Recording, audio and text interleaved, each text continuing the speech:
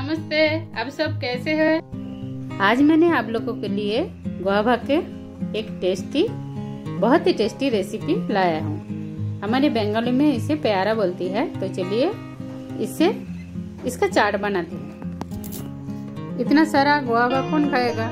ये टनी थोड़ा साफ़ कर लेती हूँ, फिर छोटा छोटा करके काट लूँगी। तो बंगाली में इसे प्यारा मक्का बोलते हैं। तो आप लोग अपना भाषा में क्या बोलते हैं, वो रेसिपी देखकर बाद में बता देना है। कमेंट बॉक्स में लिख कर। फ़िलहाल तो देखते रहिए मेरा ये रेसिपी बिना स्किप करके देखते रहिए। बहुत इजी है हेल्दी भी है और टेस्टी भी है। सबसे पहले एक गवा को लेकर एक ग्रेटर से ग्रेट कर लेती हूँ। थोड़ा मोटे मोटे करके ग्रेट करना है। ये देखिए। ऐसे थोड़ा मोटे मोटे करके ग्रेट करना है, नहीं तो थोड़ा मतलब ज़्यादा मेसी हो जाएगा। और ये बीजा का पट रख देती हूँ। किसी किसी को प्यारा का बीजा बहुत अच्छा लगता है तो खा भी सकते हैं। मैं तो वो बीजा का पट भी खा लूँगी बाद में। पहले ये, पहले इसका चाट तो बना लेती हूँ। ये अच्छा अच्छा प्यारा देखकर इसे छोटा छोटा करके काट लूँगी, देखते रहिए। तो में हो जाएगा। एक साथ में दो तीन गुआवा ऐसे खा सकते हैं, चाट बना दिया तो। अभी बारिश का सीज़न है कभी कभी गुआभा में कीड़ा वगैरह रहता है तो ध्यान से थोड़ा चेक करना है। मैंने टोटल तीन गुआभा यूज़ किया, दो गुआभा को छोटा छोटा करके काट लिया, और काट लिया ये हरा धनिया के पत्ती और एक हरी मिर्ची को छोटा छोटा करके। और एक बड़ा सा बाउल ले लिया। इसमें सारे कटे हुए गुआवा को डाल दूँगी। तो देखते रहिए कैसे बनाती हूँ। प्यारा मखा। हाँ गुआवा चाट भी बोलती है ना इसे। सारे कटे हुआ गुआवा को दे दिया। अब इसमें दे दूँगी एक चम्मच कासुंदी। कासुंदी देने से पहले इसे थोड़ा झाग लेती हूँ। ये है कासुंदी। कासुंदी कोई भी किराना का दुकान में मिल जाएगा आसानी से। मैं अंदाज से एक चम्मच जैसा कासुंदी दे दिया। ये देखिए।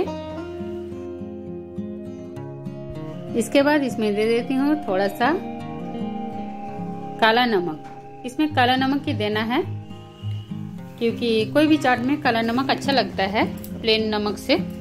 और दे देती हूँ एक चम्मच ऑलिव ऑयल।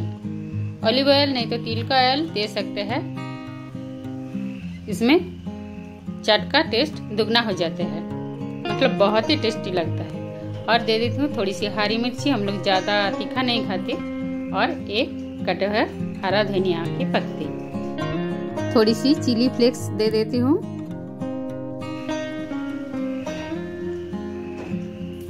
इसके बाद दे देती हूँ वो ग्रेट किया हुआ गुआभा को। आधा नींबू निचड़ के इसका रस भी दे दिया। एक खट्टा मीठा तीखा बहुत अच्छा लगेगा, बहुत ही टेस्टी बनेगा ये। अब लोग ऐसे करके बना के तो देखिए एक बार। ये प्यारा की सीज़न है मतलब गुआवा का सीज़न है। सबको बहुत अच्छा लगेगा टाइम पास भी हो जाएगा ये बारिश में।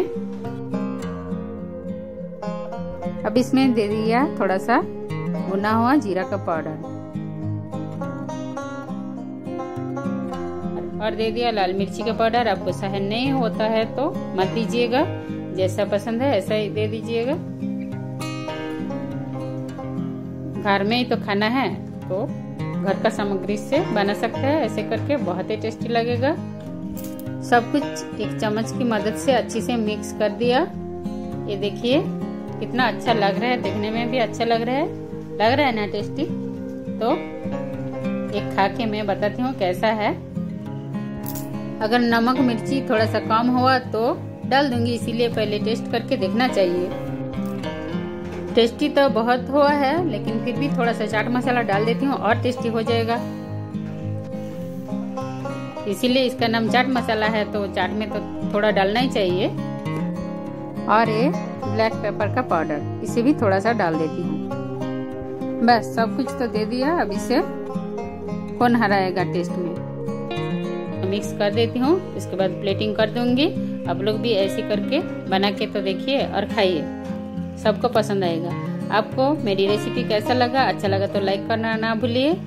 ये देखिए, मैं प्लेटिंग कर देती हूँ।